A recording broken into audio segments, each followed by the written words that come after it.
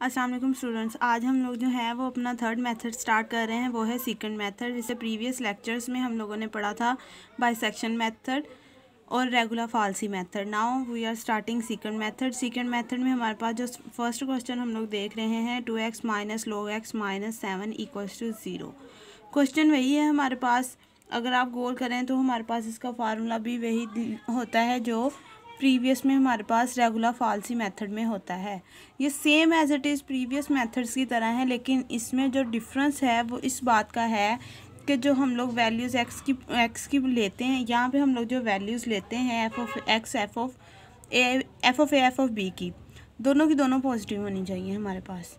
अगर हम एक नेगेटिव ले रहे हैं तो इनमें से दोनों दूसरी भी नेगेटिव लेंगे। अगर एक पॉजिटिव ले रहे हैं तो दूसरी भी पॉजिटिव लेंगे।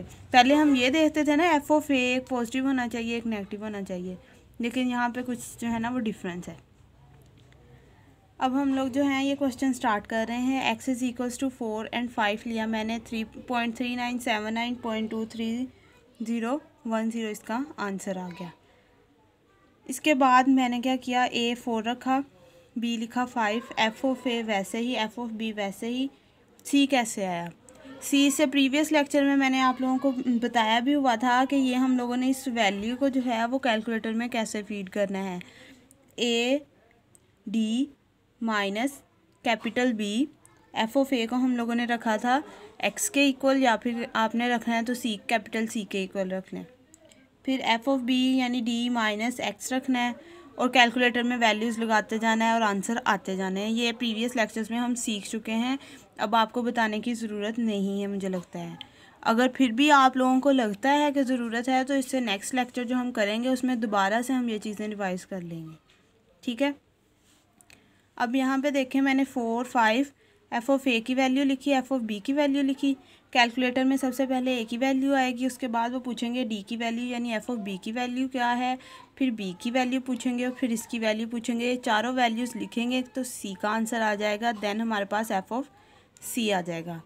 अगेन वही प्रोसेस हम लोग फॉलो करेंगे। इसमें हमारे पास ये लिमिट नहीं है। पहले हम देखते थे ना, ऐसे फिंगर्स रख के करते थे। इसमें हम लोग क्या करेंगे? दो मेथड हैं। आप वैसे करें कि ये वाली वैल्यू को इधर लिख लें। और जो इधर आपके पास आंसर आया है, वो इधर लिख लें। सेकंड मेथड में आपके पास ये है कि आप ऐसे करके वैल्यूज़ लिख लें। यानी जो ऊपर वाली रो में ऊपर वैल्यू इधर वैल्यू आ रही है ना, उसको नीचे भी आप लिख लें। सिंपल सा मेथड ये है हमारे पास कि हम लोगों ने इधर वाली वैल्यू को इधर शिफ्ट करना है नेक्स्ट रो में। पहला हम लोग इसमें डिफरेंसेस हम लोग पहले काउंट करते हैं। पहला मैंने डिफरेंस आपको बताया कि आपने दोनों वैल्यूज़ क्या लेनी है? पॉजिटिव लेनी है।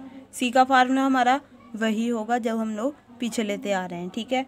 अब हम लोगों ने इसमें थर्ड डिफरेंस ये है कि हमारे पास यहाँ पे हमें पता नहीं लगता। पहले तो हम लोग फिंगर रखते थे प्लस माइनस की जगह वैल्यूज़ एक्सचेंज कर लेते थे। यहाँ पे हम लोगों को समझ नहीं आता कि हम कौन सी वैल्यू किस जगह पे लिखें। इसके लिए हम लोग क्या करते हैं कि हम लोग जैसे फिंगर रखते हैं, जो जो इधर वाली वैल्यू होती है उसे नेक्स्ट रो में नीचे लिख लेते हैं। यहाँ से सी की वैल्यू फ़र्स्ट वैल्यू की जगह लिख लेते हैं, यानी ए की जगह। नहीं तो आप इधर वाली वैल्यू को इधर लिख लें। जो नेक्स्ट अभी इस मेथड को समझे। नेक्स्ट वाला में फिर अगले क्वेश्चन में मैंने डिफरेंट मेथड किया है कि वो भी आपको समझ आ जाए। फोर मैंने इधर लिखा। सी की वैल्यू मैंने इधर लिख ली। एफ़ ऑफ़ ए की जगह मैंने अब वैल्यू चेंज की थी, इसलिए ये वाली वैल्यू इधर आ गई। एफ़ ऑफ़ बी की जगह वैसे ही। सी हम लोगों ने निकाला फार्मूले में वैल्यूज़ पुट करके। देन एफ़ ऑफ़ सी हमारे पास क्या आ गया? ज़ीरो और एक और बात कि आप लोगों ने क्या करना है? इन क्वेश्चंस को चेक करना है। हर क्वेश्चन का ये वाला जो है ना आपका सेम आएगा। ये zero point zero zero one हो सकता है, zero point zero zero two हो सकता है, ज़ीरो पॉइंट ज़ीरो हो सकता है, लेकिन ये वाला आपका जो है ना, जिस क्वेश्चन पे इस पे आंसर आना शुरू हो जाएगा आपका। इसी पॉइंट पे। आप प्रीवियस क्वेश्चन देखें इन पे आंसर आ रहा होगा आपका। थर्ड क्वेश्चन अब हम सेकंड क्वेश्चन देखते हैं। वैसे ही सेम फोर और फाइव के दरमियान हम लोगों ने इंटरवल ले लिया। Minus thirty three point two double one nine और one twenty six point eight zero three seven ले लिया। ठीक है? वही फार्मूला है हमारे पास।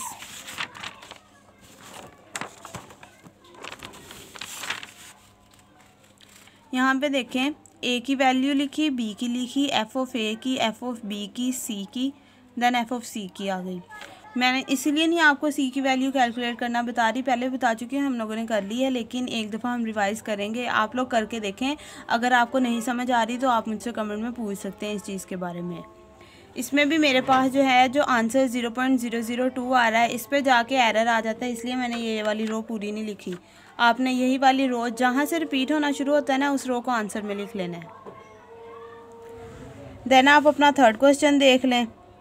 ये है थर्ड क्वेश्चन इस पर भी हमारा आंसर जो है, वो आ जाता है कौन सी रो पे? One two three four five six C six पे आंसर आता है हमारे पास। ठीक है? ये आप लोग बाकी मेथड के साथ ट्राई कीजिएगा, इसका आंसर भी सेम आएगा। नेक्स्ट लेक्चर जो है वो उसमें हम लोग कोर्स वाले क्वेश्चन जो हैं, उनको डिस्कस करेंगे और उसमें मैंने आप लोगों को एक इंपॉर्टेंट बात बतानी है तो आप लोगों ने उस लेक्चर को भी ज़रूर सुनना है। ओके अल्लाह हाफिज़।